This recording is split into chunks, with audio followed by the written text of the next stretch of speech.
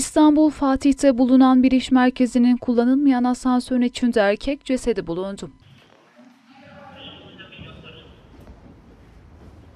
Unkapan Atatürk Bulvarı üzerinde bulunan bir iş merkezinde kullanılmayan asansör kabininden koku geldiğini fark eden çalışan asansörün kapısını açtığında genç bir erkek cesedi olduğunu gördü. Durumun bildirilmesi üzerine bölgeye sevk edilen sağlık ekipleri tarafından yapılan ilk kontrollerde cesedin yaklaşık 20 günlük olduğu belirlendi. Cumhuriyet Savcısının olay yerinde yaptığı incelemenin ardından kimliği belirlenemeyen ceset Adli Tıp Kurumu'na götürüldü. Polis ekipleri konuyla ilgili çalışma başlattı. Mehmet abi yukarıda alma. Alma yukarı. Tamam al al.